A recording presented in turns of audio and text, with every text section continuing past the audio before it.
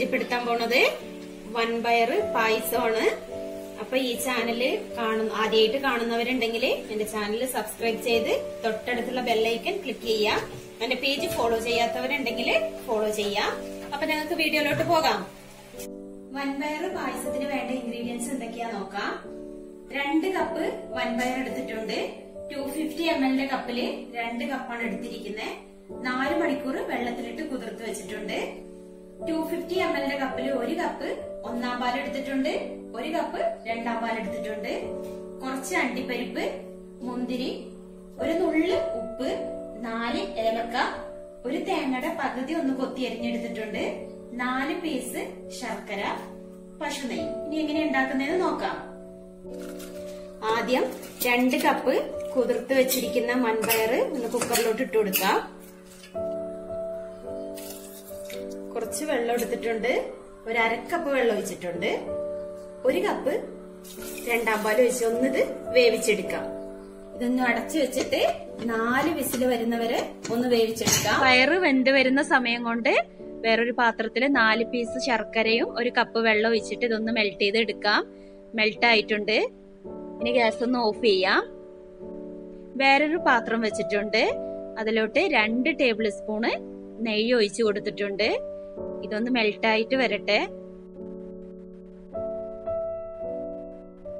ഇനി തേങ്ങാക്കൊത്ത് ചേർത്ത് കൊടുക്കാം. ഇതൊന്ന് മൂക്കട്ടെ. മൂത്ത് വന്നിട്ടുണ്ട്. ഇനി നെയ്യിന്ന് കോരാം. ഇനി അണ്ടിപ്പരിപ്പ് ഇട്ട് കൊടുക്കാം. ഇതും കൂടി ഒന്ന് മൂത്ത് വരട്ടെ. ഇതും കൂടി നെയ്യിന്ന് കോരി എടുത്തിട്ട് മുന്തിരി ഇട്ട് കൊടുക്കാം. മുന്തിരിയും കൂടി മൂത്ത് വന്നിട്ടുണ്ട്. ഇനി ഇതും കൂടി നെയ്യിന്ന് കോരാം. പയറ് നാല് വിസിൽ അടിച്ചിട്ടുണ്ട്. ഇനി ഇതൊന്ന് തുറന്നിട്ട് നോക്കാം. പിന്നെ ഒന്ന് വെന്തിട്ടുണ്ടോ നോക്കാം. നന്നായി വെന്തിട്ടുണ്ട്. ഇനി ഇതൊന്ന് ഉടച്ചെടുക്കാം. ഇനി ഇതൊന്ന് ഉടച്ചെടുക്കാം.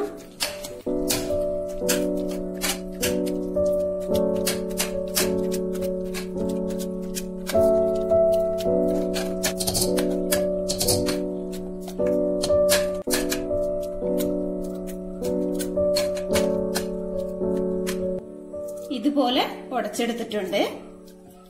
ഇനി ഇതിലേക്ക് ശർക്കരപ്പാനി ഒന്ന് ഒഴിച്ചു കൊടുക്കാം. നന്നായി പയറും ഉടച്ചിട്ട് ഗ്യാസിൽ വെച്ചിട്ടുണ്ട്. ഇനി ശർക്കര പാനി ഒന്ന് ഇതിലോട്ട് ഒഴിച്ചു കൊടുക്കാം.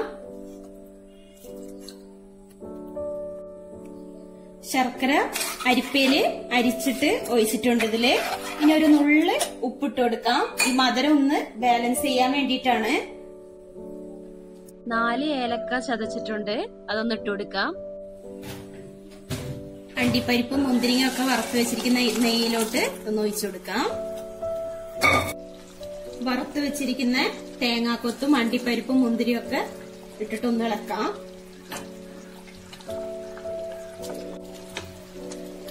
ഇനി ലാസ്റ്റായിട്ട് ഒന്നാം പാൽ ഒരു കപ്പ് ചേർത്ത് കൊടുക്കാം. ഇതെല്ലാം കൂടി ഒന്ന് നന്നായി ഇളക്കി തിളക്കാറാവുമ്പോ ഒന്ന് ഓഫ് ചെയ്യാം. കോക്കനട്ട് മിൽക്കിന്റെ പകരം സാധാ പശുമ്പാൽ വേണമെങ്കിലും ഉപയോഗിക്കാം. തിളച്ചു തുടങ്ങിയിട്ടുണ്ട്. ഇത് ഗ്യാസിന് ഒന്ന് ഓഫ് ചെയ്യാം. പായസം റെഡി ആയിട്ടുണ്ട്. വൻപയർ പായസം ഇവിടെ റെഡി ആയിട്ടുണ്ട്. എല്ലാവരും ട്രൈ ചെയ്ത് നോക്കണം. എന്റെ ഈ വീഡിയോ ഇഷ്ടപ്പെട്ടു കഴിഞ്ഞാൽ ലൈക്ക് ചെയ്യുക ഫ്രണ്ട്സിനും ഫാമിലിക്കും ഷെയർ ചെയ്യുക കമന്റ് ചെയ്യുക. അപ്പൊ ഇനി അടുത്തൊരു വീഡിയോസ് ആയിട്ട് കാണാം. താങ്ക്